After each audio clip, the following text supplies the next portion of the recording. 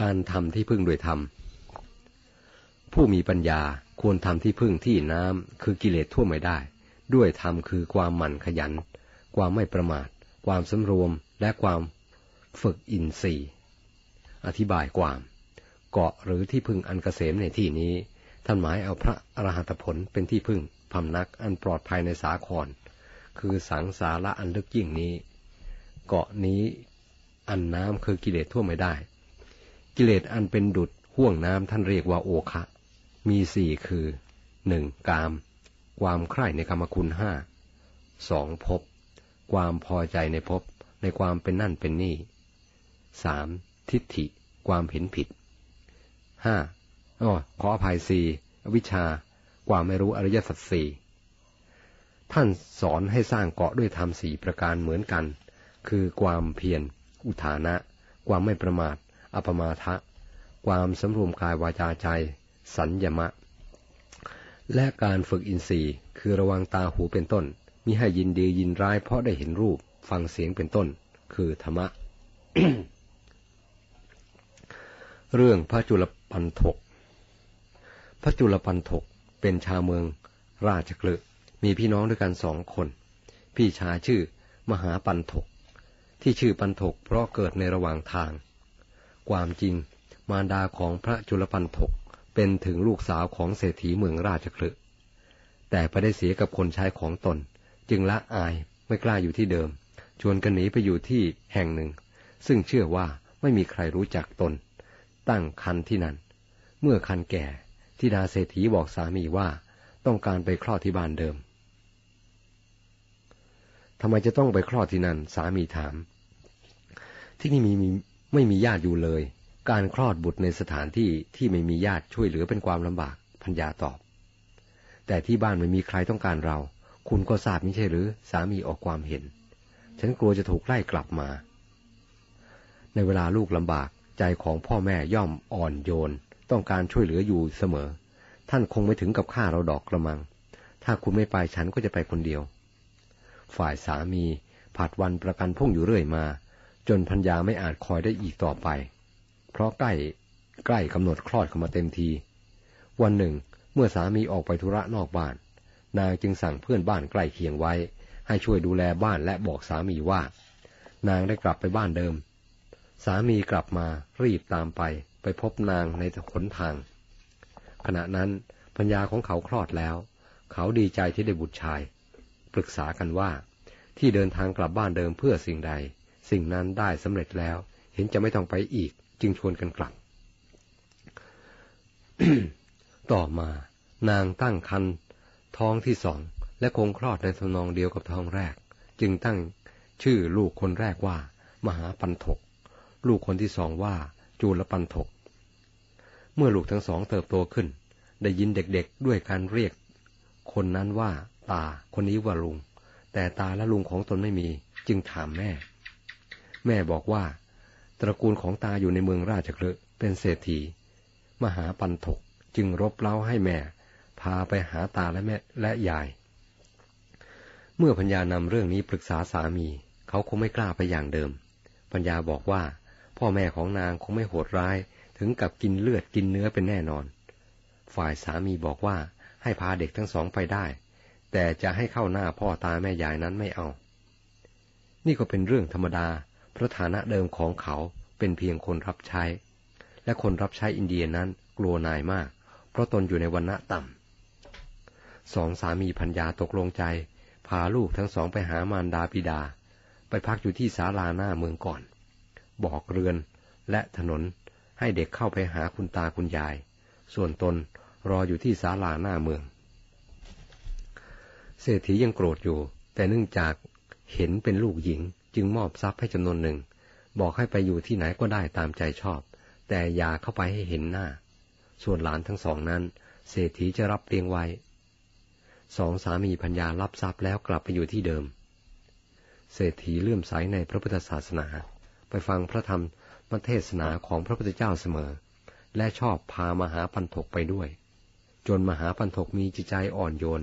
น้อมไปในการบวชจึงขออนุญาตเศรษฐีผู้เป็นตา ผู้เป็นตาบอกว่า การบวชของหลานจะเป็นความสุขของตา มากกว่าการบวชของคนทั่วโลก แต่คิดบวชอยู่ได้ก็จงบวชเถิด มหาปันถกบวชได้พระเถระผู้ถือการเที่ยวบินทบาทเป็นวัดรูปหนึ่งเป็นอุปชา ไม่นาน พระมหาปันถกก็ได้บรรลุพระอรหัตผล เมื่อท่านได้รับความสุขอันสูงสุดเท่าที่มนุษย์จะพึงได้แล้ว ท่านก็ระลึกถึงน้องชาย อยากให้ได้รับความสุขเช่นนั้นบ้าง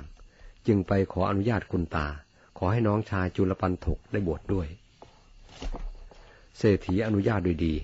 จริงอยู่แม้เศรษฐีจะนับถือพระพุทธศาสนาแล้วก็ตาม แต่เมื่อคนถามถึงแม่ของหลานว่า คือใคร เศรษฐีต้องตอบว่าเป็นบุตรีที่หนีไป ดังนี้ก็ให้รู้สึกระอาอยู่บ้าง เมื่อพระมหาพันธกมาปรารบอยากให้น้องชายบวชท่านเศรษฐีจึงอนุญาตอย่างง่ายดายเมื่อจุลปันธกบวชแล้ว พี่ชายก็ให้ศึกษาเรื่องศีลสมาธิและปัญญา ให้ศึกษาบางอย่างอันควรศึกษา แต่ปรากฏว่า พระจุลปันธกโง่เขลาเหลือเกิน แม้ข้อความเพียงเท่านี้ คือดอกบัวโกกนุษมีกลิ่นหอม บานแต่เช้า กลิ่นย่อมหอมกรุ่นอยู่เสมอฉันใด เธอจงมองดูพระอังคีรสะคือพระพุทธเจ้า ผู้รุ่งโรดอยู่ดุดพระอาทิตย์ส่องแสงในกลางหาวฉันนั้น ระจุลปันถกท่องอยู่สี่เดือนก็จำไม่ได้ เรียกว่าโง่ยางขนาดหนัก แต่เมื่อพระพุทธเจ้าทรงสั่งสอนถูกทางก็สามารถสำเร็จมรรคผลได้เหมือนกัน ท่านกล่าวว่าเหตุที่พระจุลปันถกโง่นั้น เพราะกรรมเก่าคือในศาสนาของพระสัมมาสัมพุทธเจ้า พระนามว่ากัดศพท่านบวชในศาสนานั้นเป็นผู้มีปัญญาดี ภิกษุอีกรูปหนึ่งเป็นคนเขา ท่องปริยัติธรรมอยู่ พระจุลปันถกหัวเราะเยาะ ภิกษุนั้นเกิดความละอายจนเลิกเรียนไป เพราะวิบากแห่งกรรมนั้นจึงทำให้พระจุลปันถกเป็นผู้เขาในการบัดนี้ พระมหาปันโถกเห็นว่าน้องของตนเป็นผู้อาภัพในศาสนา จึงบอกให้ศึกไปทำมาหากินทำบุญกุศลไปตามสามารถ ข้อความเพียงคาถาเดียวท่องบนอยู่ถึงสี่เดือนสี่เดือนยังจำไม่ได้ จะทำกิจของบรรพชิตให้ถึงที่สุดได้อย่างไร ฝ่ายพระจุลปันถกผู้น้องไม่ปรารถนาศึก ยังมีความอาลัยในพรหมจรรย์อยู่ เมื่อถูกพระพี่ชายไล่ออกจากที่อยู่ให้ไปศึกก็เสียใจอยู่ไม่น้อย เวลานั้น พระมหาพันธกเป็นเจ้าหน้าที่พระตุเทศ ตามตัวอักษรแปลว่า ผู้แสดงพัดคืออาหาร ถือกว่าว่า เป็นเจ้าหน้าที่รับนิมนต์แล้วแจกจ่ายภิกษุไปตามที่นิมนต์ต่างๆ ใครจะนิมนต์พระไปฉันที่บ้านของตนต้องไปติดต่อกับพระตุเทศตำแหน่งนี้ได้รับแต่งตั้งจากสงฆ์วันนั้นหมอชีวกุมารพัฒเจ้าของอัมพวัน ไปเข้าเฝ้าพระศาสดาที่อัมพวนารามนั่นเอง ฟังพระธรรมเทศนาแล้วต้องการนิมนต์พระไปฉันที่บ้านของตนในวันรุ่งขึ้น จึงไปหาพระมหาปันถก ถามจำนวนภิกษุในอัมพวันว่ามีเท่าใด มีห้าร้อยรูปเจริญพร พระมหาปันถกตอบ กระผมนิมนต์ฉันที่บ้านทั้งหมดพรุ่งนี้ รวมทั้งพระพุทธเจ้าด้วย หมอชีวกพูด แต่มีภิกษุโง่รูปหนึ่งในโยม ไม่เจริญงอกงามในธรรมวินัย อาตมาเว้นภิกษุรูปนี้เสียรูปหนึ่ง นอกนั้นรับนิมนต์ให้ได้ พระจุลปันถกได้ยินดังนั้นเสียใจมาก ปรงใจว่า พี่ชายไม่ได้มีเยื่อใยในตนเลย รับนิมนต์ให้ภิกษุอื่นถึง 499 รูป เว้นตนเสีย จะอยู่ไปทำไมในศาสนานี้ จากเป็นครือหัดทำบุญให้ทานไปตามสามารถ วันรุ่งขึ้น พระจุลปันถกออกจากวัดแต่เช้าตรู่เพื่อจะไปศึก และวันนั้น พระศาสดาผู้โลกนาถทรงตรวจดูบุคคลที่ควรจะเสด็จไปโปรด ได้ทรงเห็นพระจุลปันถกเข้าไปในข่ายพระยาน จึงเสด็จไปดักอยู่ที่หน้าวัดแต่เช้าตรู่พระจุลปันถกเดินมาพบพระศาสดาจึงเข้าไปถวายบังคม จะไปไหนจุลปันถก ตรัสถามด้วยพระกระแสเสียงอนุ่มนวลเจือด้วยพระเมตตากรุณา จะไปศึกพระเจ้าข้าพี่ชายเขาไล่ไม่ยอมให้อยู่ จุลปันถก เธอบวชในสำนักของเรา บวชอุทิศเรา เมื่อถูกพี่ชายขับไล่ฉไหนจึงไม่มาสู่สำนักของเราเล่า จะศึกเลยจุลพันธกมาเถิดมาอยู่กับเรา ตรัสดังนั้นแล้ว ทรงเอาพระหัตถ์รูปศีรษะพระจุลพันธกด้วยพระทัยกรุณา อย่างความปราปลื้มให้เกิดแก่พระจุลพันธกเป็นล้นพ้นแล้วนำไปสู่สำนักของพระองค์ ให้จุลพันธกนั่งที่นามุกพระคันธกุดี ทรงพิจารณาว่า จุลปันถกนี้มีบารมีมาทางใดหนอ ทรงทราบด้วยพระยานโดยตลอดแล้ว จึงประทานผ้าเช็ดหน้าสีขาวให้ผืนหนึ่ง พร้อมรับสั่งว่า จุลปันถก เธอนั่งผินหน้าไปทางทิศตะวันออกนะ รูปผ้าผืนนี้ พลางบริกรรม คือนึกในใจหรือออกเสียงเบาๆว่าระโชหรนังระโชหรนัง ซึ่งแปลความว่าผ้าเช็ดทุลี ดังนี้แล้ว ได้เวลามีผู้มาทูลอาราธนาเสด็จไปบ้านหมอชีวก ฝ่ายพระจุลปันถกนั่งมองดูดวงอาทิตย์ มือลูบผ้า พลางบริกรรมว่า ระโชหรนังระโชหรนัง เมื่อมองดูผ้าบ่อยๆ ได้เห็นผ้านั้นเศร้าหมองไป ท่านจึงคิดว่า ผ้านี้สะอาดแท้ๆแต่แต่อาศัยอัตภาพนี้มันจึงเศร้าหมองไป สังขารทั้งหลายไม่เที่ยงหนอ ดังนี้แล้ว เริ่มมองเห็นความสิ้นและความเสื่อมแห่งสังขารทั้งปวง เจริญวิปัสสนาอยู่ พระศาสดาประทับนั่งอยู่ที่บ้านหมอชีวก ส่งพระยานตามกระแสจิตของพระจุลปันถก ทรงทราบว่า บัดนี้จิตของพระจุลปันถกขึ้นสู่วิปัสสนาแล้วจึงตรัสว่า จุลปันถก เธออย่าคิดแต่เพียงว่า ท่อนผ้านี้เท่านั้นเศร้าหมองเปื้อนทุลี แต่เธอจงคิดถึงทุลีภายในด้วย นั่นคือราคะโทสะและโมหะอันอยู่ภายใน เธอจงนำเอาทุลีนั่นออกเสีย พระศาสดาทรงเปล่งพระรัศมีมีพระรัศมีมา ปรากฏประหนึ่งประทับอยู่เฉพาะหน้าของพระจุลปันถกแล้วตรัสอีกว่า ราคะโทสะและโมหะ เราเรียกว่าทุลีฝุ่นละอองหาใช่ทุลีไม่คำว่าทุลีเป็นคำเรียกราคะโทสะและโมหะ ภิกษุละทุลีมีราคะเป็นต้นได้แล้ว ย่อมอยู่เป็นสุขในศาสนาของพระพุทธเจ้าผู้ปราศจากทุลี ในการจบพระดำรัสพระจุลปันถกได้บรรลุอรหัตผลพร้อมด้วยปฏิสัมพิทาทั้งหลาย พระจุลปันถกมีอุปนิสัยมาทางผ้าเปื้อนทุลี ระศาสดาได้ประทานอุปกรณ์อันเหมาะสมแก่อุปนิสัยของท่านจึงสำเร็จได้เร็ว เรื่องของท่านเป็นดังนี้ ในอดีตท่านเคยเกิดเป็นพระเจ้าแผ่นดินพระองค์หนึ่ง วันหนึ่ง ทรงทำประทักษิณพระนคร เมื่อพระเสโทไหลจากพระนาราช ทรงเอาผ้าสะอาดเช็ดพระเสโทนั้น ทรงได้อนิจจสัญญาว่า ผ้าสะอาดอย่างนี้เศร้าหมองแล้ว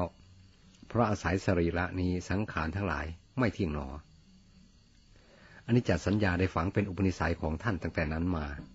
ผ้าเช็ดทุลีจึงเป็นปัจจัยแห่งอุปนิสัยของท่าน พระศาสดาทรงทราบเรื่องนี้ดี หมอชีวกได้น้อมนำน้ำทักษิโนทกเข้าไปถวายพระศาสดา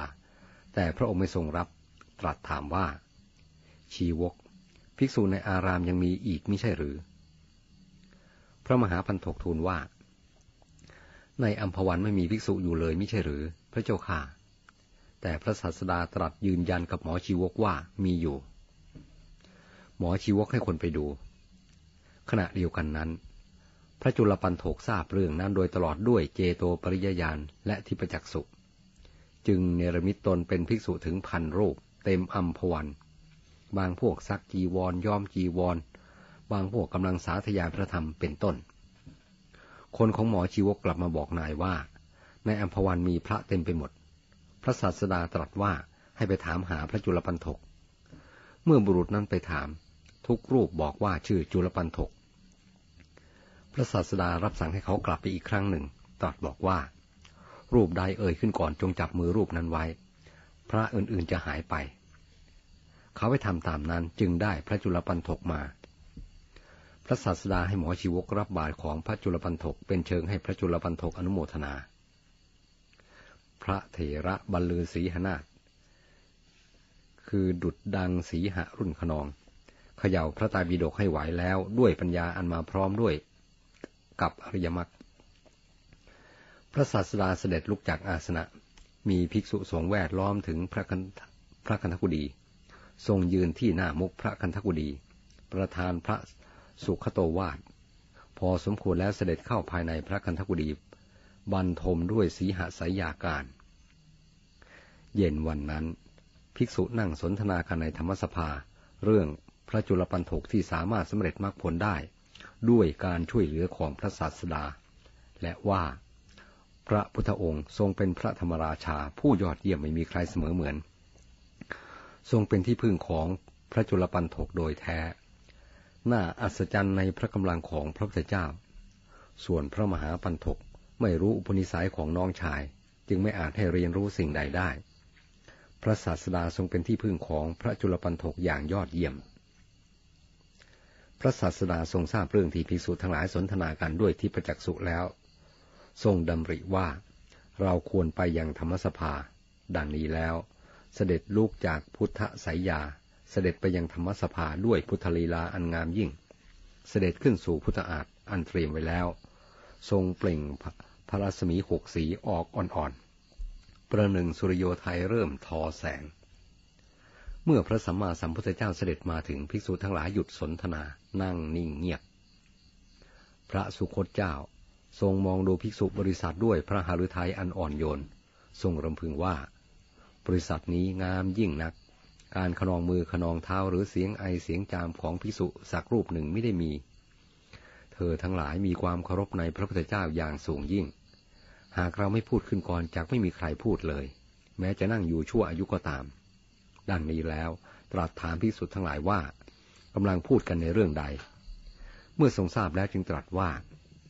ภิกษุทั้งหลาย จุลปันถกจะเป็นผู้โง่เขลาในบัดนี้เท่านั้นก็หาไม่ แม้ในการก่อนก็เคยโง่เขลามาแล้วอันหนึ่ง เราเป็นที่พึ่งของเธอในเฉพาะในบัดนี้เท่านั้นก็หาไม่ แม้ในการก่อนก็เคยเป็นที่พึ่งของเธอมาแล้วเหมือนกัน ต่างกันแต่เพียงว่า ในการก่อนเราทำให้เขาได้โลกียทรัพย์ แต่บัดนี้ให้ได้โลกุตระทรัพย์ พระศาสดาทรงนำเรื่องอดีตของพระจุลปันถกมาดังนี้ ในอดีตการ มานกคนหนึ่งชาวเมืองพาราณสี ไปศึกษาศิลปศาสตร์ในเมืองตักกศิลา เป็นคนดีมาก ปรนิบัติอาจารย์ด้วยความตั้งใจดีอย่างยิ่ง มีความขยันหมั่นเพียรในการทำงานและการศึกษาทุกอย่าง แต่เป็นคนโง่เขลาอาจารย์สงสารเขา พยายามให้เขาศึกษาด้วยความตั้งใจดีอย่างยิ่ง เพราะเระลึกว่าสิทธิ์คนนี้มีอุปการะมากแก่เรา แต่ก็ไม่สามารถให้เขาเรียนรู้อะไรได้ เขาอยู่กับอาจารย์เป็นเวลานานหลายปี แต่สักคาถาเดียวก็จำไม่ได้ มองเห็นตนเป็นผู้อภัพในการศึกษา จึงเข้าไปลาอาจารย์กลับบ้าน อาจารย์รักสิทธิ์คนนั้นมาก อยากจะให้เขาได้อะไรไปสักอย่างหนึ่ง จึงผูกมุนขึ้นบทหนึ่ง พาเขาไปในป่าแล้วให้เรียนมนบทนั้น ท่านผู้อ่านต่อไปจะเห็นว่า อาจารย์ผู้นี้ ต้องมียานรู้อนาคตมิฉะนั้นจะมอบคาถาแบบนี้ไม่ได้ เมื่อมานพรับว่าจำได้แล้ว จึงอนุญาตให้กลับบ้าน พร้อมสั่งว่าเมื่อว่างและนึกขึ้นได้เมื่อไรก็จงท่องมนบทนั้นเสมอๆ มานพ รับคำของอาจารย์ด้วยเคารพแล้วเดินทางกลับ มารดาบิดาตอบต้อนรับเขาอย่างดี ด้วยหวังว่าบุตรศึกษาสำเร็จกลับมา ครั้งนั้นพระเจ้ากรุงพระนศีทรงดำริว่าจากสอบสวนความคิดเห็นของราษฎรที่มีต่อเรา และจากดูทุกสุขของราษฎรอย่างใกล้ชิด ดังนี้แล้วทรงปลอมพระองค์เสด็จไปแต่พระองค์เดียวในเวลาค่ำคืน คืนหนึ่ง อดพระเนตรเห็นพวกโจรกำลังจะเข้าลักของในบ้านหนึ่ง จึงทรงแอบซุ่มสังเกตอยู่ เมื่อโจรเข้าบ้านได้กำลังสำรวจสิ่งของอยู่ มานพหนุ่มเจ้าของบ้านได้สาธยายมนขึ้นว่าคเตสิคเตสิ กิงการนาคเตสิอหังปิตังจานามิจานามิ หมายความว่า เจ้าพยายามไปเถิด พยายามไปเถิด เจ้าพยายามเพื่ออะไร เรารู้ เรารู้ความพยายามของเจ้า โจรได้ยินดังนั้นพากันวิ่งหนีผ้าพรหลุดลุ่ย วันรุ่งขึ้น พระราชารับสั่งให้ราชบุตรมาเชิญมานพหนุ่มนั้นเข้าเฝ้า เธอเรียนสำเร็จมาจากตักกศิลาหรือพยาค่ะ เรียนอะไร เรียนมนมาบทเดียวพยาค่ะ บอกเราบ้างไม่ได้หรือ ได้พยาค่ะ แต่ต้องประทับบนอาสนะที่เสมอกันขณะทรงเรียน ได้เป็นไรไป พระราชาทรงยืนยัน เมื่อพระราชาเรียนมนบทนั้นจบแล้ว ได้พระราชทานทรัพย์พันหนึ่งให้แก่เขา เสนาบดีของพระราชาคนหนึ่งคิดทรยศ เข้าหาช่างกระบก ขอให้ช่างกระบก คือช่างตัดผม ตัดพระสอพระราชาขณะปรงพระมสุเมื่อตนได้เป็นพระราชาแล้วจะให้ตำแหน่งเสนาบดีแก่ช่างกระบก ช่างกระบกตกลง วันหนึ่ง ขณะกำลัง ปลงพระมสุ เขาสะบัดมีดโกนรู้สึกมีดคมร่อยไปหน่อยหนึ่งกำหนดว่าจะตัดฉับเดียวให้ขาดเลย จึงไปยืนสะบัดมีดโกนอยู่เพื่อให้คมเต็มที่ พระราชาทรงระลึกถึงมนที่เรียนมาจากมานพได้ จึงสาธยายขึ้น คเตสิคเตสิกิงการนาคเตสิอหังปิตังจานามิยานามิ ช่างกระบกได้ยินดังนั้นเข้าใจว่า พระราชาทรงทราบความพยายามของตน จึงตกใจตัวสั่นเหงื่อโสมหน้า ทิ้งมีดโกนแล้วหมอบลงแทบพระบาทของพระราชา ธรรมดา พระราชาย่อมเป็นผู้ฉลาด ทรงเห็นเหตุการณ์ดังนั้น ทรงอนุมานว่า ต้องมีการคิดร้ายขึ้นอย่างแน่นอน จึงทรงตวาดว่า เฮ้ย ไอช่างกระบก มึงเข้าใจว่ากูไม่รู้ถึงความพยายามของมึงหรือช่างกระบกรับสารภาพหมดทุกอย่าง พระราชาทรงอนุสรถึงมานพหนุ่มผู้เป็นอาจารย์บอกมนว่า ทรงรอดชีวิตครั้งนี้ได้ เพราะมนบทนั้นบทเดียว ทรงในระเทศเสนาบดีแล้ว พระราชทานตำแหน่งเสนาบดีให้แก่มานพหนุ่มเจ้าของมนพระศาสดาทรงนำเรื่องนี้มาแล้วตรัสว่า มานพหนุ่มนั้นคือจุลปันถก อาจารย์ที่สาปาโมกคือพระองค์เอง นอกจากนี้ยังได้ทรงนำเรื่องอดีตของพระจุลปันถกสมัยเป็นคนรับใช้ของ จุลกะเศรษฐี ซึ่งสามารถตั้งตัวได้ด้วยการขายหนูตายเพียงตัวเดียวเป็นต้นทุน จนเป็นเศรษฐีมาให้ภิกษุทั้งหลายฟังอีก แล้วสรุปว่า คนมีปัญญาย่อมตั้งตนได้ด้วยทุนทรัพย์แม้เพียงเล็กน้อย เหมือนคนก่อไฟกองน้อยให้ลุกเป็นกองใหญ่ฉะนั้น เมื่อทรงปรารบถึงโลกุตระสมบัติอันพระจุลปันถกได้ อันชื่อว่าได้ที่พึงอันกเกษม คือพระอรหัตผล พระศาสดาจึงตรัสพระพุทธภาษิตว่า อุท่าเนนะปะปะมาเดนะเป็นต้น